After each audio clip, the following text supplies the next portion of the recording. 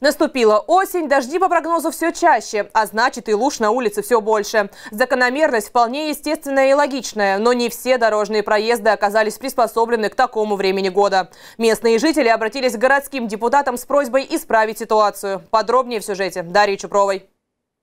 Местные жители собрались у бани номер один. Сюда они приходят каждую неделю. И в осенне-весенний период дорога доставляет им немало трудностей.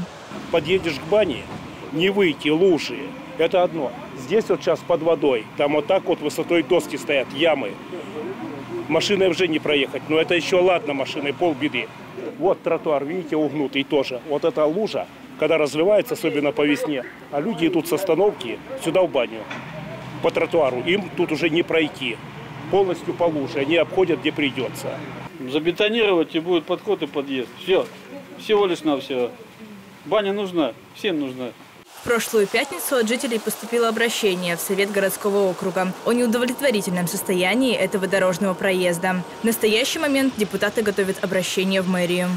Я предполагаю, что будет дано поручение, э, произведется обсчет и обмеры данной дороги, чтобы понимать фактические затраты э, средств, которые необходимы для ремонта данной дороги. Дорога уже износилась, она эксплуатируется более 10 лет. Но если успеет э, мэрия обсчитать, будем включать в бюджет на следующий год, ну и смотреть, как мы сможем это все быстро сделать.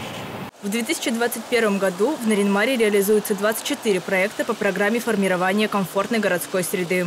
Единственное, что у нас, скорее всего, э, один проект не будет реализован ввиду непоставки подрядчикам двух детских площадок. И в данный момент идет задержка поставки э, щебеня. Вот, как только щебень будет поставлен на Ренмар, будет производиться ремонт, э, ямочный ремонт грунтовых дорог. В том числе и попытаемся в этом году засыпать яму, которая у нас возле светофора по данной дороге. Депутаты городского совета открыты для предложений граждан. Мы готовы оказывать всяческую помощь по, по мере возможности. Есть, э, скажем так, предложения граждан, которые носят большие финансовые затраты, тем не менее они включаются в программы и как бы включаются в бюджет.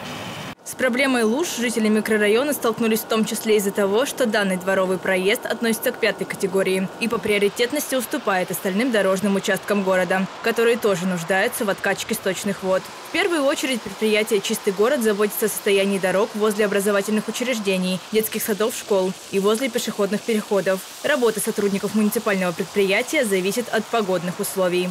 Дарья Чупрова, Леонид Шишелов, телеканал «Север».